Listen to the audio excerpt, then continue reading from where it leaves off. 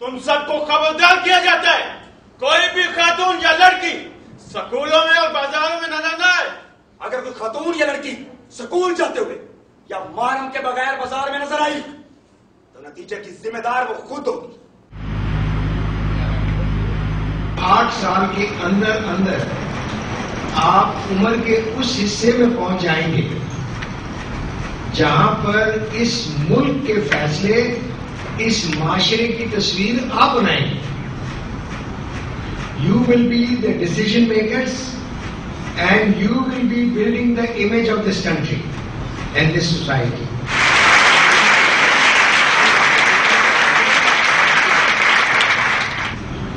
आप पर इस मुल्क का मुस्तकबिल डिपेंड करेगा। आपकी सोचों पर करेगा। आपके रिश्तों पर करेगा। आपके रवैयों पर करेगा और आपके फैसलों पर करेगा।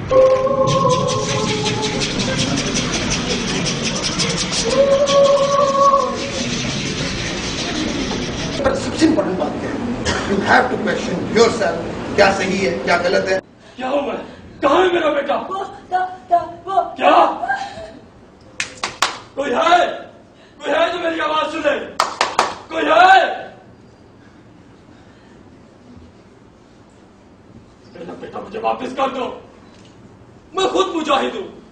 मैंने रूस के खिलाफ जिहाद में हिस्सा लिया मेरा बेटा मुझे वापस कर दो। मेरा बेटा मुझे वापस कर दो। क्योंकि आपके साथ मेरे साथ ऐसा नहीं हुआ, शायद हम उस तरह से उसको महसूस नहीं कर रहे अभी तक। लेकिन उनका दुख देखें, उस माँ का दुख देखें, जिसका खावत भी उसके सामने मार दिया, है ना? और जिसका बेटा अगवा करके कत्ल कर दिया। अगर आपकी कोई बहन, आपका कोई भाई, आपका वालिद, आपकी वालदा को अगवा कर लिया जाता है, बाद में कत्ल भी कर दिया जाता है। आपका क्या?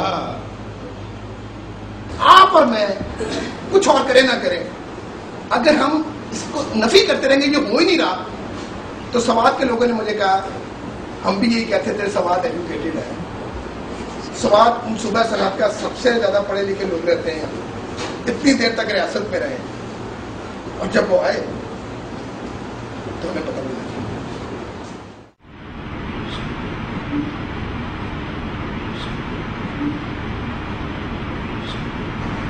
तुम्हारा घर में जवान रिश्ता है और हमारा बहुत सा तालिब गैर शादीशुदा है। इसका शादी करवाओ तारीफ़ से इसका मंगनी तो बचपन में ही तय हो गया था।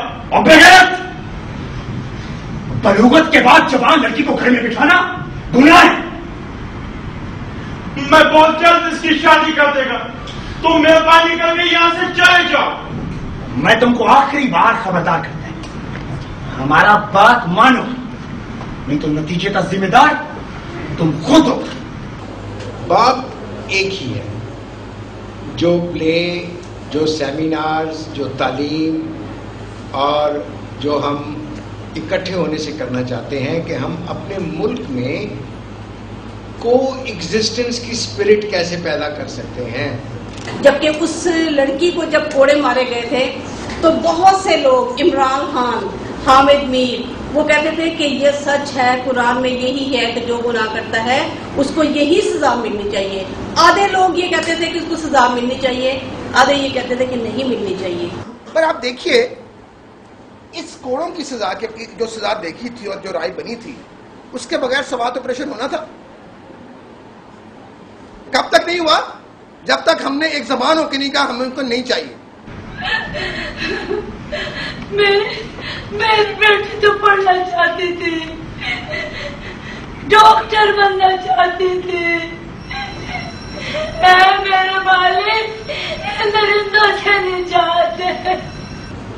और आप जो पढ़े लिखे स्टूडेंट्स हैं, हम चाहते हैं कि आप अच्छे मुसलमान हों, आप अच्छे मसीही हों, आप अच्छे हिंदू हों या अच्छे पारसी हों। If you are good Muslim you are an excellent human being if you are a good Christian you are an excellent human being but if you are a selfish Muslim you are a bad Muslim if you are a selfish Christian you are a bad Christian ਉਦੋਂ ਇਹ ਸਾਰੇ ਕਿੱਥੇ ਸਨ ਜਦੋਂ ਸਾਡੇ ਬੱਚਿਆਂ ਦੇ ਕਲਾ ਕੱਟੇ ਜਾ ਰਹੇ ਸਨ ਬੱਚਿਆਂ ਨੂੰ ਕੋੜੇ ਮਾਰੇ ਜਾ ਰਹੇ ਸਨ ਸਕੂਲਾਂ ਨੂੰ ਬੰਬ ਮਾਗੇ ਨਾਲ ਉਡਾਇਆ ਜਾ ਰਿਹਾ ਸੀ खुदा का लाख लाख शुक्र है कि लिंदों के खिलाफ फौजी ऑपरेशन तो शुरू हुआ ਹੁਣ ਮੁਸੀਬਤ ਭਾਵੇਂ ਕਿੰਨੀ ਵੀ ਹੋਵੇ ਹੁਣ ਮੈਂ ਆਪਣੀ ਬੱਚੀ ਨੂੰ ਪੜਾ ਸਕਦੀ ਹਾਂ ਫੌਜੀ ਆਪਰੇਸ਼ਨ ਉਦੋਂ ਤੱਕ ਜਾਰੀ ਰਹਿਣਾ ਚਾਹੀਦਾ ਹੈ ਜਦੋਂ तक ये दरिंदे का खात्मा नहीं हो जाता आज हमने तालिबान को नहीं बल्कि उनकी भी टीम को भी पहचानना है, जो मीडिया में है, सियासत में है। और आज हम मिलकर ये कहते हैं तालिबान हटाओ अवाम बचाओ।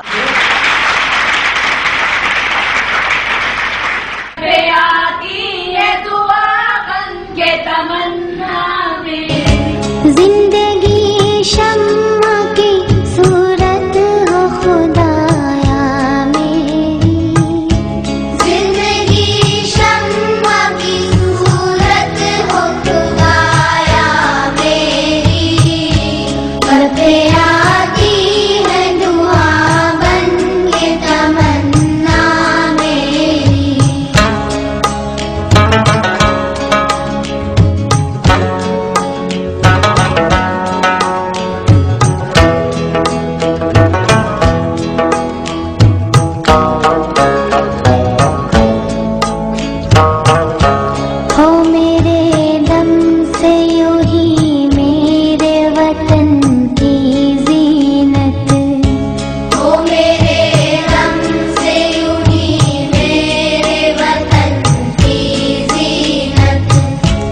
जिस तरह फूल